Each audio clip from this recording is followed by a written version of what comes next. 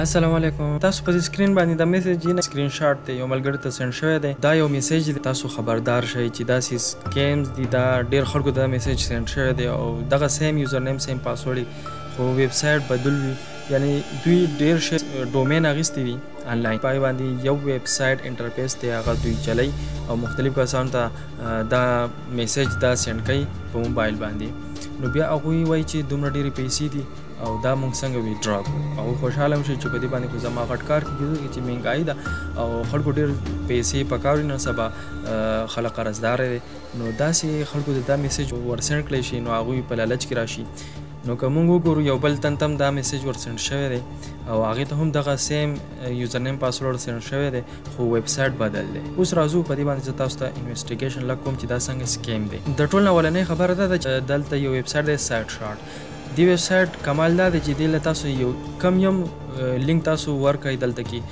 داغی سکرین شاټ تاسو ته خای نو دلته ما غو ولنه ویب سایټ ورکړ داغی سکرین شاټ ما ته خو چی دا داسی ویب سایټ دی دویم ما ورکړ نو هغه هم ما ته بالکل سیم ټو سیم انټرفیس ما ته خو چی دا وبو دا ویب سایټ دی خو ډومین یې چینج دی تاسو کتل شئ ډومین دوی ډیر شي اغیستی دی تاسو ته به یو شان ویب سایټ ښکاری خو دا یو شان ویب سایټ نه مختلف ویب سایټ دی مختلف ډومین دوی اغیستی دی اولنی لینک دا شو په دې باندې تاسو نور هم لینک چې کولای شئ سایټ شارټ باندې چې تاسو ځان سیف ساتئ تاسو ځان محفوظ ساتئ نو تاسو د هغې اول تحقیق کوئ کیم ایډوایزر دې ویب سایټ ته به راشئ د کم کمپنیو ویب سایټ دي هغه تاسو دوی له ورکړئ نو دوی به د هغوی تاسو ته یو ټرسټ سکور تاسو ته وښایي دوی ښوایي چې دې کې پازیټیو هایلایټس پکې دا دي چې دې کې ایس ایس ایل سرټیفیکټ شته ډي ان اس فلټر دا پکې هم شته دی او بالکل دا پکې شته دی خو که تاسو دلته لاندې وګورئ نور سکور د دې ډېر کم دی ځکه چې دا بالکل د دې ایج بالکلي کم دی یعنی دا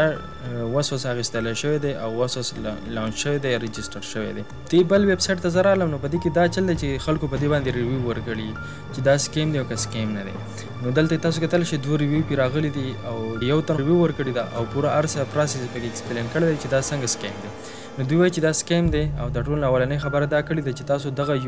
یوزرنیم پاسورډ تاسو ورکړئ دې ویب سایټ ته ویزټ کړئ ټیک شو کوم هم ویب سایټ تاسو له درکړی په میسج کې نو د ټولو اولنۍ خبره ده چې تاسو نو کی غواړي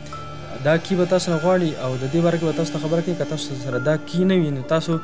کسټمر سپورټ سره کنټیکټ وکړئ بالکل په دغه ویب سایټ کې کسټمر سپورټ دا تاسو کتل شئ کنټیکټ کسټمر سپورټ دا به کېشته دی ٹھیک شو اولنې خبره تاسو ته دا کړم چې تاسو کسټمر سپورټ سره خبرو وکړئ نو هغه به تاسو ته وایي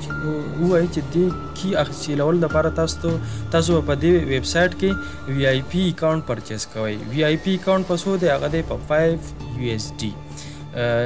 تاسو 15 ډالر دې ته ویلی شئ ټیک شو په دومره اماونټ باندې دا کیږي نو بالکل ښکاره خبره چې تاسو په دې کې تاسو باندې اکاونټونه درخرڅي او هغه اکاونټونه تاسو باندې درخرڅ کینو به د دې هیڅ هم اعتماد نشته د دې ویب سایټ دا خپلې پیسې تاسو ته واپس درکړي دا نور پیسې خو لا پرې دي چې خپلې پیسې به هم تاسو نه لاړ شي دا 15 ډالر چې تاسو دوی لور کوي دا د ویب سایټ نه پته ولګي چې دا سکیم دی او دې نه ځان بچ ساتي او امید لرم چې تاسو به دی ویډیو نه پوره سبق اخیستی وي او کېدای شي تاسو ته هم دا سیم میسج چې تاسو ته در سند کړی شوی وي او یو آر ایل یا ویب سایټ یې بدل وي خو سیم انټرفیس چې تاسو هغه ویب سایټ اوپن کړئ د هغې به بالکلي سیم انټرفیس وي څنګه چې دې سکرین شاټ کې کتلی شئ دا ویب سایټ دی نو د ویډیو مقصد دا اویرنس او دغه شان مختلف سکیم راوځي سکیمر مختلف ټیکټکس هغه استعمالوي او ډېر شي کسان هغوی غواړي چې څومره هم آنلاین يو زر وي هغه مونږ خپل ښکار جوړ کو او هغه نه سنه سه پیسې هغه وو نو دا سي تاسو خبردار اوسئ سایبر پښتو سره اوسئ مونږ تاسو له دغه شان نیوز کیمراز یا دغه شان اویرنس ویډیوز دي سایبر سکیورټي والي سره نورم چې انټرنیټ تاسو استعمالي هغه والي سره آی ټي والي سره دغه شان مختلف ویډیوز به مونږ تاسو له ان شاء الله جوړو زموږ سره اوسئ او چې تاسو سایبر سکیورټي کې خپل کیریر جوړول غواړئ نو زموږ سایت cyberpashto.com وزټ کول مه هیروئ په الحال زه تاسو نه اجازه غواړم د الله بابا